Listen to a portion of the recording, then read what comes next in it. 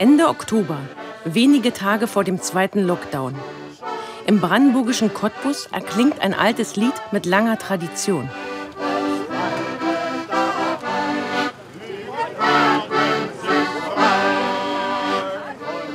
Der Verein Zukunft Heimat hat zur Kundgebung geladen und das Lied okkupiert. Der Gründer des Vereins, AfD-Mann Christoph Berndt, hat die Demo angemeldet. Vorne hier gibt es noch Fahnen, also da kann jeder kommen und sich noch eine Fahne holen, damit wir ein schönes Bild schwarz-rot-gold haben. Das Bild nach außen wirkt wie ein politisches Statement. Kaum Masken, zu wenig Abstand, dafür unzählige Deutschlandfahnen. Mit dabei AfD-Prominenz Alexander Gauland. Björn Höcke ist gekommen, begrüßt mit uns Björn Höcke. Und der rechte Rand der Partei, Björn Höcke. Unterstützt vom ehemaligen AfD-Landeschef und Rechtsextremisten Andreas Kalbitz. Auch das wohl ein politisches Statement. Wir sind viele, wir sind die schweigende Mehrheit, davon bin ich überzeugt. Und denkt immer daran, das ist ein Finger, den kann man brechen. Aber fünf Finger sind eine Faust, die bricht keiner, liebe Freunde. Es lebe die Mark Brandenburg, es lebe Thüringen, meine Heimat, es lebe unser deutsches Vaterland, es lebe das wahre Europa, ich danke euch. Der Thüringer AfD-Chef fantasiert vom deutschen Vaterland und dem wahren Europa. Die Rechten träumen sich mal wieder groß, vor allem in Ostdeutschland. Da sind sie stärker, erreichen mehr Menschen und sind radikaler. Woran liegt das?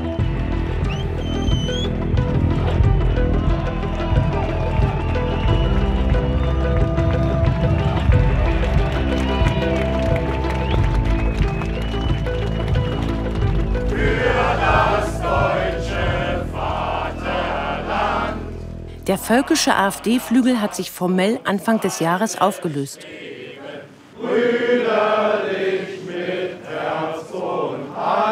Doch hier in Cottbus stehen dessen Vertreter Seite an Seite.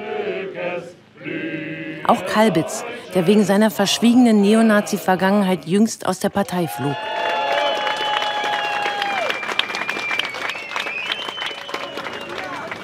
Bevor Christoph Berndt für die AfD in den Brandenburgischen Landtag einzog, begann er seine politische Laufbahn als Vorsitzender von Zukunft Heimat. Seit fünf Jahren veranstaltet sein Verein Demonstrationen gegen Geflüchtete. Ich denke, ein Heimatverein heute muss auch politisch äh, werden, wo die Heimat zur Disposition gestellt wird. Und äh, da ist die AfD sozusagen der, der natürliche Bündnispartner. Wir, wir würden auch mit anderen, mit anderen Parteien demonstrieren oder Aktionen machen, aber die wollen ja mit uns nicht. Ich meine, Zukunft Heimat rechtsextremistischer Verein? Zukunft Freiburg ist ja kein rechtsextremistischer Verein. Das ist ja sozusagen ein, eine missbräuchliche Etikettierung durch einen missbrauchten Verfassungsschutz. Seit Anfang des Jahres wird Zukunft Heimat vom Verfassungsschutz als erwiesen rechtsextremistisch beobachtet. Auch Bernd und Höcke sind als Rechtsextremisten eingestuft. Vor kurzem übernahm Bernd auch den Fraktionsvorsitz im Landtag und folgt damit auf Kalbitz. Jetzt sind Sie der neue AfD-Fraktionsvorsitzende von Brandenburg. Also folgt ein Rechtsextremist nach dem nächsten. Noch einmal, Frau Bernke. Ich glaube, ich habe es Ihnen ja jetzt in drei Minuten fünfmal gesagt. Das müssten Sie doch immer langsam im Kurzzeitgedächtnis haben. Ich bin kein Rechtsextremist. Und das ist eine gehässige Etikettierung, eine bewusste, gehässige, falsche Etikettierung, uns und mich als Rechtsextremisten zu bezeichnen. Das ist die Einschätzung des Verfassungsschutzes. Das ist eine bewusste, falsche und gehässige Etikettierung. Mir ist nichts bekannt, wo irgendetwas in dem, was wir getan haben oder gesagt haben, diesen, diese, diese Etikettierung begründen würde. Bernd sagt, ihm sei nichts bekannt. Der Verfassungsschutz hingegen spricht von personellen und strukturellen Überschneidungen des Vereins ins rechtsextreme Milieu. Verbindung etwa zu diesem längst verbotenen Neonazi-Netzwerk, die sogenannten Spreelichter veranstalteten illegale Fackelmärsche in Bautzen und Cottbus und feierten sich mit martialischen Propagandavideos wie diesem.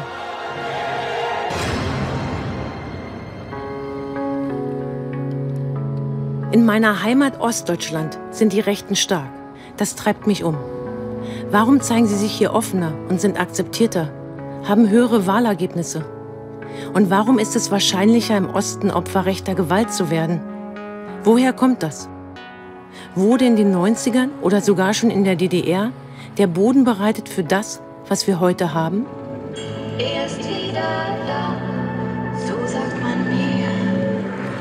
Er sieht zwar aus wie ein Hippie, ist aber überzeugter Nationalsozialist mit ausgeprägtem Germanenkult. Arnulf Winfried Priem. Vor zwei Jahren wurde er zuletzt verurteilt, wegen Mitgliedschaft in einer kriminellen Vereinigung und Volksverhetzung. In seiner Wohnung in Berlin dürfen wir nicht drehen, überall Hakenkreuze und SS-Runen. Er würde sich beim Zeigen dieser NS-Symbolik strafbar machen. Was haben Sie so für Tattoos? Das äh, ist ein Totenkopf und äh, das ist ein äh, nicht verbotener Adler, weil der Hakenkreuz fehlt. Und wer ist das? Reinhard Heydrich. Mhm. Der war nach äh, Heinrich Himmler der zweite Mann innerhalb der SS. Und den verehren Sie dann schon? Schon. Ganz offen trägt Prim den NS-Kriegsverbrecher auf dem Arm. Heydrich war einer der Hauptverantwortlichen für den Holocaust. Prim ist in der DDR aufgewachsen, aber sozialistisch wollte er nie sein. Was waren Sie damals zu DDR-Zeiten? National. Mit 15 fing das an. Naja, mein Opa war im Krieg und in der Gefangenschaft in russischer. Und mein Vater war im Krieg und in Gefangenschaft in englischer. Und äh, mein Onkel Günther. Und die haben uns dann so vom Krieg berichtet und auch von der Zeit vor 45, wo es noch funktioniert hat. Ne? Selbst nach Kriegsende blieb die Begeisterung für den Nationalsozialismus in Prims Familie groß. Eines seiner ersten Bücher war Mein Kampf, erzählt er. Die DDR empfand Prim schon früh als Zwangsjacke, aus der er schnell raus wollte. Bevor ich äh, versucht habe zu türmen, da war ich dann schon Nationalsozialist mit 17. Wie kann man mit 17 von sich sagen, dass man Nationalsozialist war? Äh, ganz einfach, indem man also diese äh, Sachen, die beim Führer gut gehandhabt würden, gerne wieder gehabt hätte. Und indem man gemerkt hat, dass also die äh, Besatzerregierung nur zu eigenen Vorteil dieses Land ausplündert und man durfte es nicht sagen. Ich erinnere mich im Freibad Oberspree und so weiter, wenn wir da Bahn waren, dass sie fast alle ein eisernes Kreuz trugen und so weiter, obwohl es ja offiziell verboten war. Ne? Das Selbstbild der DDR war ein komplett anderes. Heute, wie damals, lautet der Schwur, nie wieder Faschismus, nie wieder Krieg. Die Deutsche Demokratische Republik, sie verkörpert die Ideale des antifaschistischen Kampfes. Aber folgten alle in der DDR den Idealen des antifaschistischen Kampfes?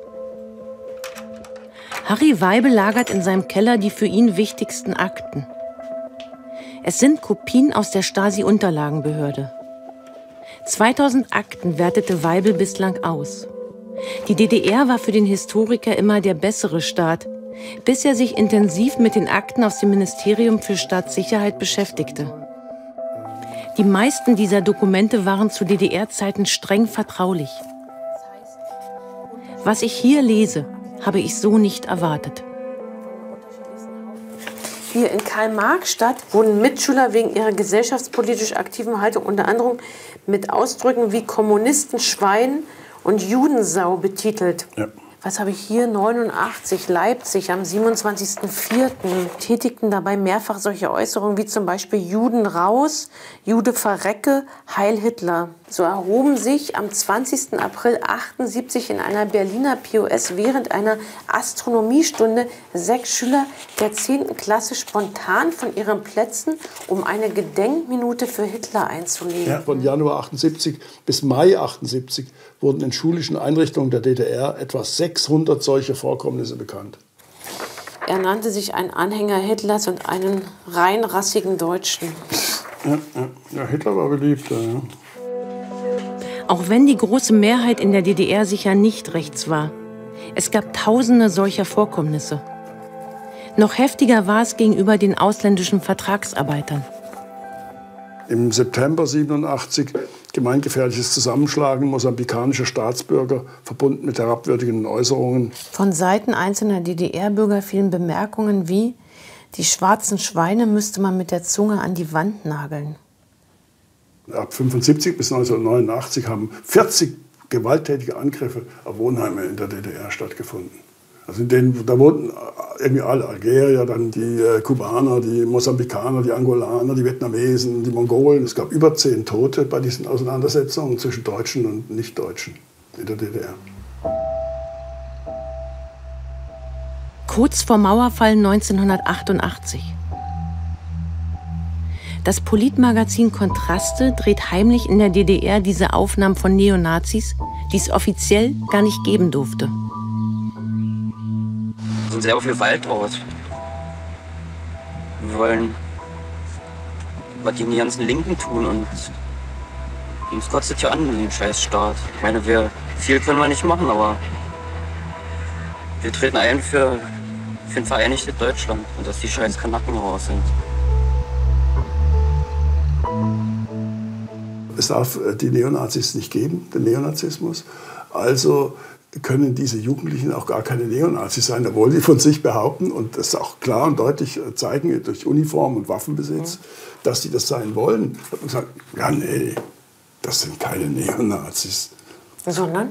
Die kommen aus asozialen Familien oder sie sind einem Rädelsführer auf den Leim gegangen oder die Propaganda der westlichen Medien hat sie dazu verführt, diese Straftaten zu begehen. Das heißt aber, dass ähm, die Staatssicherheit genau Bescheid wusste über all die Jahre? Die Staatssicherheit wusste äh, im Grunde genommen alles über diese Bewegung, weil eben diese ähm, Rechtsbrüche, die tauchten in der Kriminalstatistik der DDR auf unter Paragraphen wie ähm, äh, Staatsverleumdung, Rauditum, Herabwürdigung und so weiter aber kein Wort über neonazistische Motivation, über rassistische Motivation, antisemitische Motivation. Warum nicht? Um den Anspruch, die DDR ist äh, äh, ein antifaschistischer Staat, in dem es das nicht gibt, um diese, diese Rollen, diese Lüge äh, aufrechtzuerhalten. Manche Radikalisierung fand sogar in den DDR-Gefängnissen statt. Stasi-Untersuchungshaftanstalt Berlin-Hohenschönhausen. Als 19-Jähriger kommt Ingo Hasselbach in Haft. Er wird als Neonazi den Knast wieder verlassen. Seine Erinnerungen an diesen Ort liegen lange zurück. Doch die Bilder sind sofort wieder da. Also das wurde ja von den Gefangenen Tigerkäfig genannt. Und da oben lief halt so ein Posten rum, der konnte im Prinzip von da in jede, jede Freigangszelle gucken. Also so weit wie jetzt hier stehen war nicht erlaubt. Man musste laufen. Seine Geschichte beginnt ganz harmlos. Hasselbach ruft 1986 auf einem Fest der deutsch-sowjetischen Freundschaft, die Mauer muss weg. Er wird sofort verhaftet. Die Vernehmungen waren dann halt sehr intensiv hier, wo man halt ähm, auf Herz und Niere geprüft wird, sozusagen, ob man ein Staatsfeind ist. Darum geht es ja dann letztlich. Und zu welchem Ergebnis sind die dann gekommen? Ja, offensichtlich waren wir Staatsfeinde.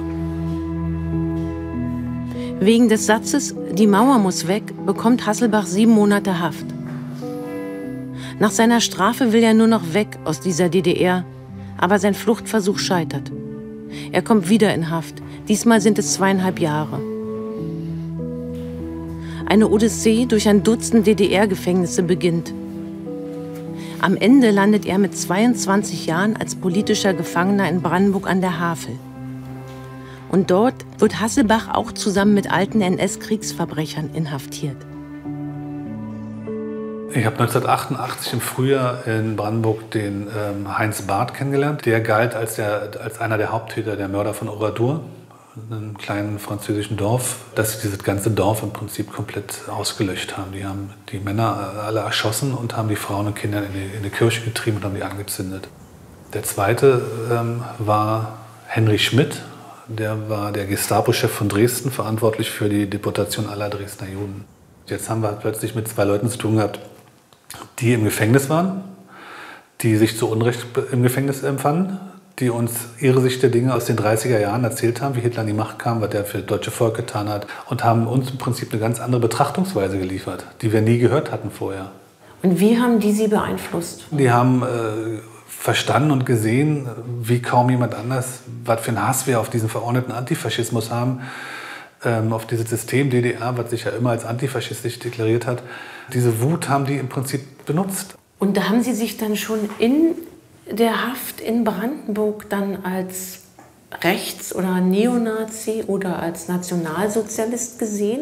Das, diese, natürlich, diese Jahre im Gefängnis, diese, diese Wut äh, auf, auf die DDR ähm, hat einen wahnsinnigen Einfluss darauf gehabt. Also ohne den Knast wäre ich nicht Neonazi geworden, da bin ich mir ziemlich sicher. Bernd Wagner hat schon früh gemerkt, dass die DDR ein Problem mit Neonazis hat. Er war Kriminalpolizist in der DDR. Aber erst Ende der 80er wird er beauftragt, über Neonazis Erkenntnisse zu sammeln. Zu einem Zeitpunkt, als die Staatsführung kaum noch verheimlichen kann, dass es ein massives Problem gibt.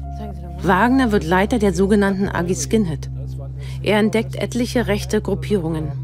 SS-Division Walter Krüger-Wolgast, SS-Kampfstaffel Nord, Wotansbrüder, Wilhelmsruher Türkenklatscher, Lichtenberger Front, die Vandalen, die Ostkreuzler, Deutschland stirbt nicht, SS-Teutonenkampfstaffel. Die waren alle aktiv äh, und viele mehr. Das ist ja nur ein kleiner Ausschnitt äh, der Wirklichkeit. Alle waren nationalsozialistisch, alle haben sich am Dritten Reich orientiert. Man kann eigentlich davon ausgehen, dass in allen Städten der DDR mindestens eine Gruppierung existierte. Also kommen Sie auf eine Zahl, die also weit über 200 liegt, äh, an, nur an Gruppierungen. Zu DDR-Zeiten darf Wagner seine Erkenntnisse nicht veröffentlichen. Die Studie der AG Skinhead kommt unter Verschluss. Erst kurz nach Mauerfall, die DDR existiert noch, stellt Wagner seine Ermittlungsergebnisse auf einer Pressekonferenz vor. Bis September diesen Jahres wurden bevorzugt angegriffen Anhänger der Punkbewegung wegen ihrer undeutschen Lebensweise, Gruftis,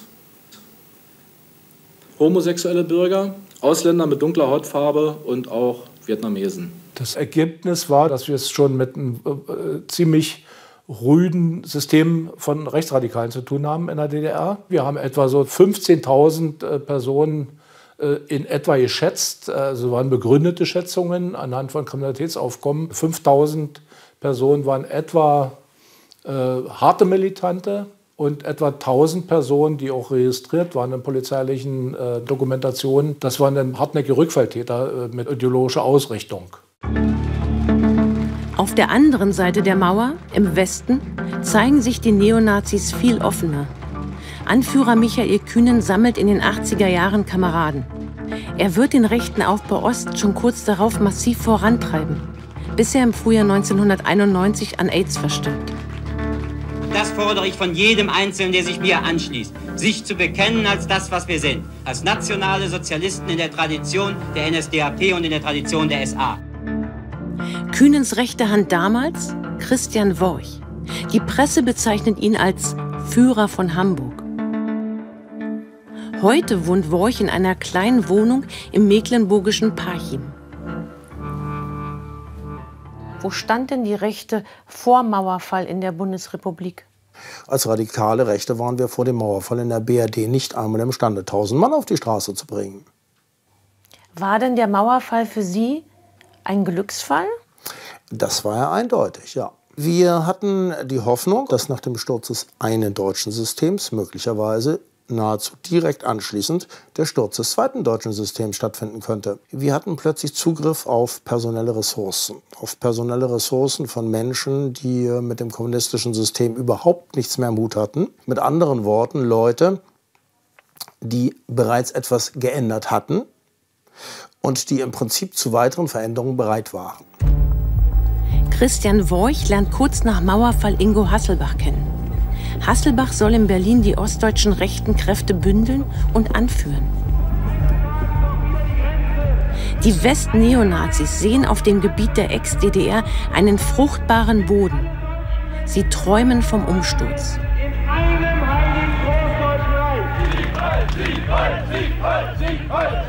Wir haben hier ein großes Potenzial von vorwiegend jungen Menschen, die sagen wir einmal politisch unverbraucht sind.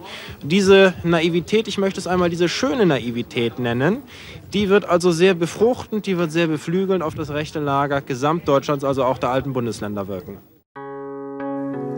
Universität Bielefeld. Seit einem Jahr hat die Historikerin Christina Morina hier eine Professur. Aufgewachsen ist die 44-Jährige in der DDR. Ein Schwerpunkt ihrer Forschung ist der Aufstieg der Rechtspopulisten.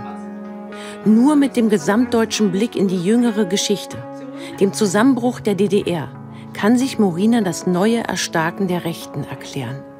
Das ist keine Geschichte von, äh, da kommen die Westnazis, übernehmen das und äh, sagen dann den ostdeutschen äh, Handlangern, was sie zu tun haben, sondern es ist schon eine, eine, eher eine Synergie oder ein Zusammengehen auch.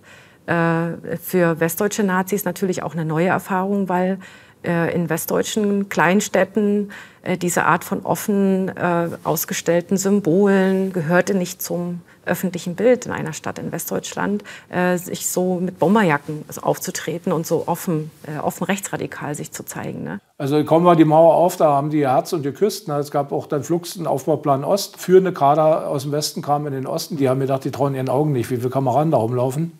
Äh, auch optisch sichtbar und so völlig unbefangen. Ja? Keine Angst vor Verfassungsschutz. Stasi war tot und äh, die waren also hoch begeistert. Die haben sogar geträumt in der Zeit von der nationalen Revolution. Weitlingstraße in Ostberlin. Von hier aus sollte sie ausgehen, die nationale Revolution. 1990 entsteht in diesen besetzten Häusern die Hauptzentrale der neuen rechten Bewegung. Ingo Hasselbach wird ihr Anführer und Parteivorsitzender der nationalen Alternative. Von den Medien wird er damals als Führer von Berlin bezeichnet. Die Weitlingstraße in Lichtenberg wird zum Anziehungspunkt für bis zu 400 Neonazis aus Ost und West.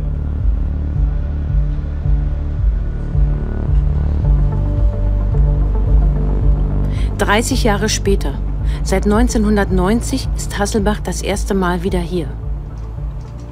Konnte man sich nicht mehr bewegen in dieser Straße, ohne Stress zu kriegen. Ne? Die Linken haben hier draußen patrouilliert, äh, die Polizei hat patrouilliert, der Staatsschutz hat patrouilliert, der Verfassungsschutz hat patrouilliert. Also alle waren hier draußen auf den Straßen unterwegs. Also es gab hier so eine totale Überwachung. Ne? Also nachdem die dann auch geschnallt haben, wer hier eingezogen ist in das Haus.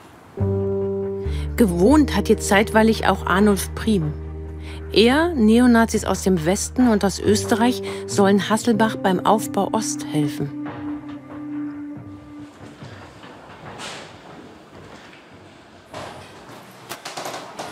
Das war meine Wohnung. Das war Ihre Wohnung? Ja. Vor 30 Jahren. Vor 30 Jahren, genau, ja. Hier gab es im Prinzip von der Treppe direkt einen Zugang auf den Dachboden. Hatten Sie Waffen im Haus? Wir hatten immer Waffen im Haus, ja. Es war unausgesprochen klar, dass jeder hier im Haus eine Waffe hat. Für den Fall, dass man überfallen wird, dass es hier eine Störung gibt, ähm, was auch immer. Ja. Die heftigste Auseinandersetzung um die Weitlingstraße war am 23. Juni 1990. Ein linkes Bündnis hat zu Demonstrationen gegen das rechte Zentrum aufgerufen. Die Weitlingstraße stand im Prinzip als, als Symbol für die Wiedervereinigung der Rechten, also für die Vereinigung der Rechten Ost-West. Wir hatten das Gefühl, wir können hier Geschichte machen und das haben wir versucht zu machen letztlich. Hasselbach sagt, er und seine Kameraden hätten an dem Tag im Juni die Weitlingstraße bis zum allerletzten verteidigt. Dass es keine Toten gab, ist ein kleines Wunder. Der Angriff der Linken war eine Reaktion auf etliche Gewalttaten der Neonazis.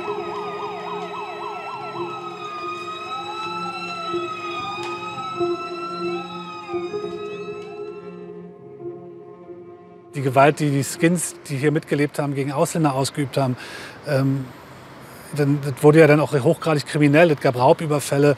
Es war nicht mehr zu kontrollieren. Natürlich waren wir verantwortlich. Ne? Wir haben die ja hierher geholt, wir haben den hatten zu Hause gegeben. Äh, wir haben zwar nicht zu ihnen gesagt, geht raus ähm, und, und äh, schlagt jetzt Ausländer tot oder so, aber sie haben es halt trotzdem gemacht. Oder Ausländer verprügelt, überfallen, ne? Brandstiftung und weiß der Teufel, was die gemacht haben. Aber wir waren natürlich verantwortlich.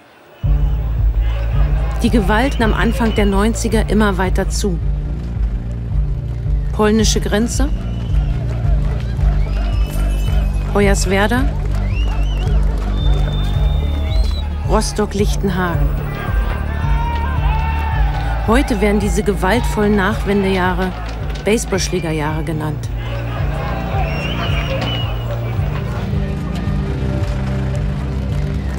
Allein im vorigen Jahr wurden über 1500 Gewalttaten von Rechtsextremisten verübt. Alles deutet darauf hin, dass diese Zahl in diesem Jahr bei weitem überschritten wird. Am letzten Augustwochenende 1992 wurden mehr als 20 Asylbewerberheime angegriffen.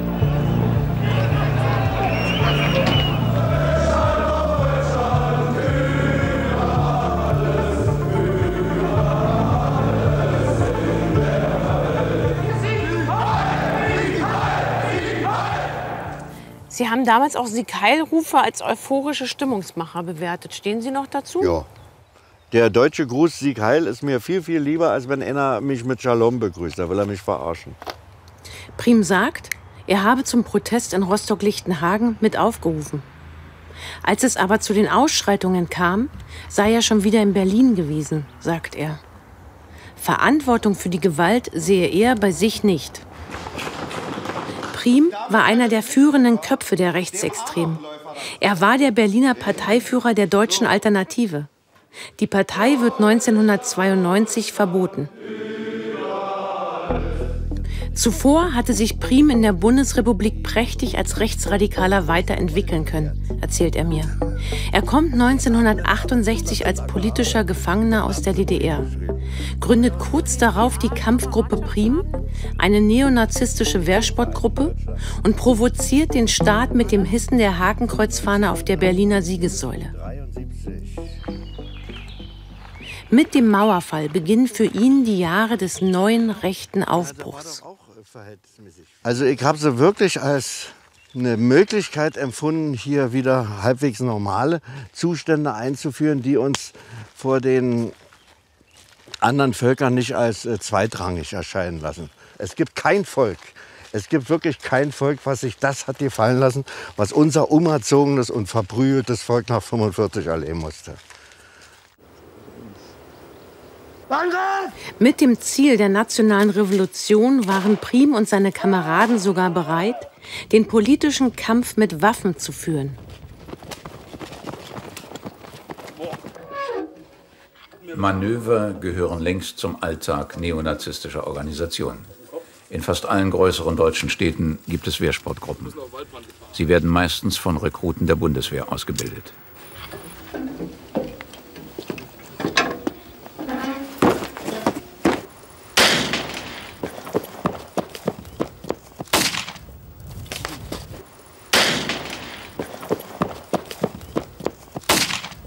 Also wenn ich ähm, mit richtiger Munition auf jemanden schieße oder ziele, dann wird das einen Grund haben, dann wird in dem auch mein Feind sein. Und Kannst du dir das vorstellen? Sicherlich kann ich mir das vorstellen. In, in welcher Situation? Zum Beispiel erstmal von Hause aus Notwehr. Politisch gesehen? Vielleicht auch irgendwann mal zur, zur Durchsetzung politischer Ziele. Wie ist denn das für Sie, wenn Sie das mal wieder so gucken? Naja, das ist schwer, mich zusammenzubringen mit der Person. Also es ist so lange her. Ich weiß natürlich, dass ich das bin, aber es ist äh, schon wahnsinnig absurd zu sehen. Dass, das, dass ich das mal gesagt habe. Also und, äh, den ganzen Zusammenhang natürlich auch sehe, für was das alles steht und wo das herkommt. Und, ähm, aber letztlich ist das natürlich ein Teil meiner Geschichte, den ich akzeptieren muss. Oder den ich auch akzeptiere natürlich.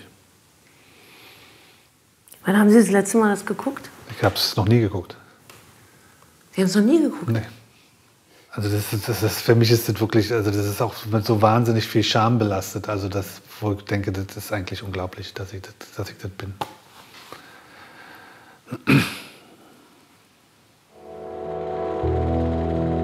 Mölln, 23. November 1992. Bei einem Brandanschlag von Rechtsextremen sterben drei türkischstämmige Bewohnerinnen. Für mich war an dem Tag klar, das ist es gewesen. Weil da Menschen gestorben sind. Also wo, wo wirklich klar durch Propaganda, für mich ganz klar durch Propaganda, durch das, was wir gesagt haben, was wir propagiert haben, was wir in Interviews gesagt haben, was wir in Schulungsmaterial vertreten haben, ganz klar Tote gab. Ne?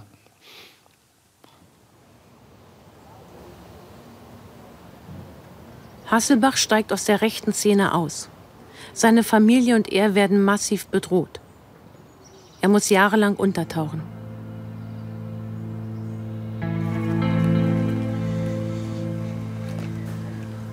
Am Rand von Stralsund.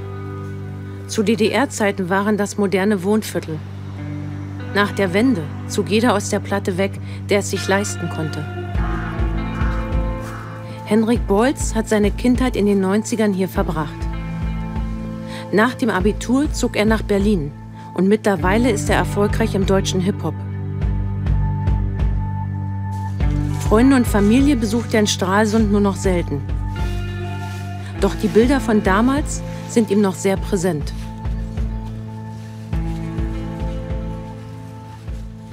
Ich da spielend mit dem Ball, klein, und hinten die äh, ähm, äh, ja, Typen mit Bomberjacken und Glatze.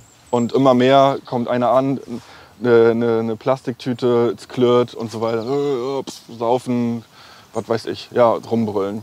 Dass diese Typen, dass die, dass die, dass die gefährlich sind, das hat sich dann aber schon irgendwie auch übertragen. Also ne, das, das eine ist das, was ich jetzt wirklich gesehen habe. Das andere ist aber natürlich das, was, was man irgendwie dann gehört hat. Ähm, ne? Ja, da wurde wieder einer zusammengeschlagen, weil er braune Augen hatte, da einer, weil er lange Haare hatte. Wie normal war es denn eigentlich hier, Neonazi zu sein? Ähm, total normal, aber nicht im Sinne von, dass es so normal jeder ist es, sondern normal im Sinne von, ja, wenn jemand das ist, dann ist das irgendwie, ähm, ja, okay, ist jetzt nicht der Erste, ja, kennen wir alle, ist irgendwie, das ist, ist kein Aufreger. Das war die coolste Jugendkultur. Wenn man, wenn man Jugendlicher war, in, in einem gewissen Alter, männlich und cool sein wollte, dann war man Neonazi. In vielen ostdeutschen Städten prägen Neonazis in den Nachwendejahren das öffentliche Bild. Schaffen ein Klima der Angst, ohne auf großen Widerstand zu stoßen. Es ist die Zeit, in der sich das NSU-Mordtrio radikalisiert. Es sind die Jahre, über die heute als Baseballschlägerjahre diskutiert wird. Wenn es dann dunkel wurde, wenn sich immer mehr hier versammelt haben, gesoffen haben, rumgebrüllt haben, da war ich ja schon zu Hause. Was haben Sie dann wahrgenommen, wenn Sie zu Hause waren? Ähm, schon Gebrülle, ähm, äh, Geschreie, äh, Heil Hitler, Sieg Heil und so weiter. Und ähm, ja, irgendwelche Lieder, was ich als Kind ja noch gar nicht so richtig einordnen konnte, aber schon gemerkt habe, ah, das ist irgendwie was Böses. Heißt das, dass halt diese Faschos, diese, diese Neonazis, Ihre Begleiter in der Kindheit waren? Ja, schon. Ja, also das waren äh, äh, Faschos waren eigentlich permanenter Begleiter meiner Kindheit. Ja. Das war die Blütezeit für Prim und seine rechten Kameraden. Bis er 1995 für dreieinhalb Jahre in Haft kommt. Unter anderem wegen der Bildung bewaffneter Haufen. Nach seiner Entlassung trifft er sich mit seinen Anhängern in diesem unterirdischen Bunker. Heute nur noch in einer nahegelegenen kleinen Laube. Doch seine Fantasien vom braunen Umsturz sind geblieben. Ich kann mir nicht vorstellen, dass das gute deutsche Blut so verkleistert ist in der Zwischenzeit hier, dass da nicht noch mal eine vernünftige Generation zum Vorschein kommt, die einfach sagt, Mensch, unser Staat, unser Stückchen, unsere Heimat. Prim hofft auf eine neue Generation von Neonazis. Um die Heimat geht es auch diesem Verein, wenn auch anders. In Südbrandenburg macht seit fünf Jahren Zukunft Heimatmobil. Der Verein setzt sich auch für Radwege ein. Auf den Kundgebungen hingegen schlägt Zukunft Heimatchef Christoph Berndt ganz andere Töne an. Gibt es überhaupt noch einen öffentlichen Platz, der vor dieser durch die Regierung importierten Kriminalität sicher ist? Welche Frau kann sich noch ungezwungen bewegen, wenn auch nur in der Ferne eine Gruppe dunkelhaariger junger Männer auftaucht oder auch auftauchen könnte? Um den Gründungsvater des Vereins Berndt versammeln sich in den letzten Jahren immer wieder stramme Rechte, die seine flüchtlingsfeindlichen Ziele unterstützen. So ist der harmlos klingende Heimatverein auch ein Sammelbecken am rechten Rand mit klassischen Rechtsextremen, AfD und Pegida-Publikum, aber auch mit Menschen aus der Mitte der Gesellschaft. In einer kleinen Gemeinde im Dahme-Spreewald hat Bernd sein Wahlkreisbüro. Seit 2019 ist er Landtagsabgeordneter, holte das Direktmandat für die AfD Brandenburg. Bernd kommt aus der DDR, war in der Kirchengemeinde aktiv, sah sich als Oppositioneller. Corona ignoriert er. So, Frau Bernd. Nein, wir dürfen ja nicht so richtig. Ach, Quatsch. Glauben Sie doch nicht immer, Quatsch, den das Fernsehen immer verbreitet. Seit Mitte der 80er arbeitete er als Labormediziner in der Berliner Charité, bis er seine politische Karriere in der AfD begann. Herr Bernd, was ist Ihre Motivation, heute politisch aktiv zu sein? Ich habe die Erfahrung gemacht oder die Wahrnehmung gemacht, dass die Staatsparteien sich den Staat zur Beute gemacht haben und die, die den Staat so führen, wie früher die SED den Staat geführt hat. Wir haben damals in der DDR gelebt, das war eine Diktatur. Jetzt leben wir aber nicht in einer Diktatur, jetzt leben wir in einer Demokratie. Ja, Frau Wernke, das ist auf dem Papier war die DDR ja auch keine Diktatur. Auf der, die DDR hieß Deutsche Demokratische Republik. Das heißt, Sie vergleichen die DDR mit der Bundesrepublik? Natürlich vergleiche ich die, selbstverständlich vergleiche ich die. Ist doch klar. Also Sie, Sie tun so, als ob das jetzt was ganz besonders Schlimmes wäre. Vergleiche muss man immer anstellen. Wie fällt denn der Vergleich bei Ihnen aus? Ja, dass die, dass die Bundesrepublik jetzt der, der 2010er Jahre zunehmend Züge der DDR annimmt zunehmend Züge der DDR annimmt. Zum Beispiel, dass, der, dass die politische Polizei der Verfassungsschutz gegen, die, gegen eine demokratische Opposition benutzt wird, instrumentalisiert wird. Das Zweite ist die Alternativlosigkeit. Das ist, das ist grausam. Das war ja in der DDR auch so. Also da, zum, zum, äh, zum Sozialismus gab es keine Alternative. Das stand sogar in der Verfassung. Und wir haben auch jetzt die Alternativlosigkeit, die gepredigt wird eben von diesen Staatsparteien. Bernd sieht sich wie in der DDR wieder in Opposition zum System. Nur jetzt hat er mit der AfD eine radikale Partei, um parlamentarisch den Umsturz zu träumen. Dafür soll wieder der Osten der Ausgangspunkt sein. Warum sind die Rechten und damit auch die AfD stärker in Ostdeutschland als im Westen? Diese, sie mit, diesem, mit dieser Klassifikation links-rechts werden Sie keinen Schritt weiterkommen in der Analyse und in der, in der, in der Klarheit. Die AfD ist keine rechte Partei. Sondern? Die AfD ist eine Partei, die in der Frage global national auf der Seite des, der, der, Nationalstaatlichkeit steht, während, alle, während die Führung aller anderen Parteien auf der Seite des Globalismus stehen. Da im Osten meiner Ansicht nach ein längere Zeit unbefangenes Verhältnis zur Nation bestanden hat, erkläre ich mir den größeren Erfolg der AfD im Osten damit. Die Art und Weise, wie die AfD verspricht, Volksvertretung zu sein. Ich glaube, das knüpft an etwas an, was äh, uneingelöstes Versprechen äh, der beiden Diktaturen im 20. Jahrhundert war. Also die, die, die NS-Volksgemeinschaft hat eine sozusagen eine rassische Gemeinschaft versprochen. Der Sozialismus hat eine sozialistische Menschengemeinschaft äh, versprochen. Und jetzt geht die AfD wieder zurück zu so einer Idee einer einer Volksgemeinschaft, die stärker, also das ist völkisch konnotiert in einem ethnisch völkisch-rassischen Sinne, mit dem Versprechen der sozialen Gerechtigkeit verbunden, also auch der, ne, dem, Nachdruck dann auch auf den dem Sozialstaat. Äh, das ist gerade in den ostdeutschen Landesverbänden spielt das eine große Rolle. Die AfD ist besonders laut, radikal und erfolgreich in Ostdeutschland. Das hat viele Gründe. Eine Erklärung sind historische Kontinuitäten. Die DDR-Zeit mit Neonazis, die es nicht geben durfte. Darauf folgend die gewaltvollen 90er mit rechten Umsturzfantasien. All das hat das heutige Erstarken der neuen Rechten mit ihren Hardlinern befördert. Wenn wir kommen, dann wird aufgeräumt, dann wird ausgemistet, dann wird wieder Politik für das Volk und zwar nur für das Volk gemacht. Wir werden sie jagen. Wir werden Frau Merkel oder wen auch immer jagen. Dieses Land steht Kopf. Das Unterste ist nach oben gewendet. Wir müssen dieses Land wieder vom Kopf auf die Füße stellen. Wir müssen das Unterste wieder nach unten wenden, wo es hingehört. Klingt radikal. Für Langzeit-Neonazi Christian Worch aber noch nicht radikal genug. Worch marschiert mit seinen Kameraden noch immer für die braune Revolution. Seit ein paar Jahren mit seiner neonazistischen Kleinstpartei Die Rechte. Was für verpisst euch aus Braunschweig!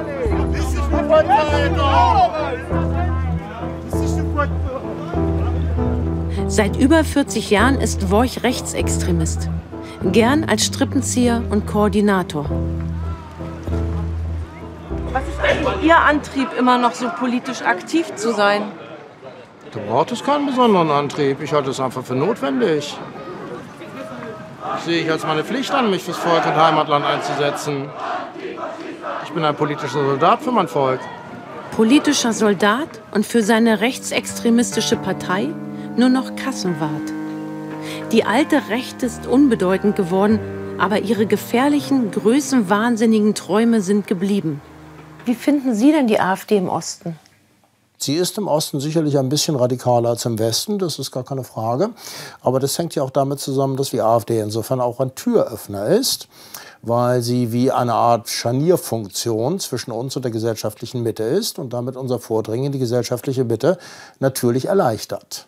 Ich würde schon sagen, dass man sagen kann, dass die AfD die Altnazis in gewisser Weise abgelöst hat, auch deshalb, weil sie es versteht, die NS-Vergangenheit äh, abzuschwächen. Man leugnet nicht, was passiert ist, sondern man sagt, war ja nur ein Teil der Geschichte. Ein Stachel also, den die alten Nazis immer hatten in ihrer Erzählung, der sie für die große Mehrheit nicht wählbar gemacht hat, ist eben diese Positionierung gegenüber Hitler und dem Nationalsozialismus. Den hat man sozusagen gezogen.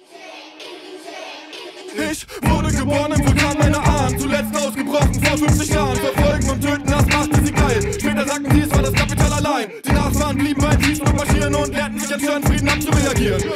Kirche, brüllten Juden raus und warfen an die Mollis das Sonnenblumenhaus. Ja, unter der Haut ist die Scheiße am Brodeln, Berichte geschreddert und Bürger belogen. Schaufer reißt ab, Blute schießt hoch, plötzlich sind wieder ein paar Ausländer tot. Plötzlich Feindschütze vor Synagogen und Rechtsradikale gewinnen an den Urnen. Das sind Traditionen von Schweigen und Gewalt, wann ziehen wir uns endlich den Stachel aus dem Fleisch.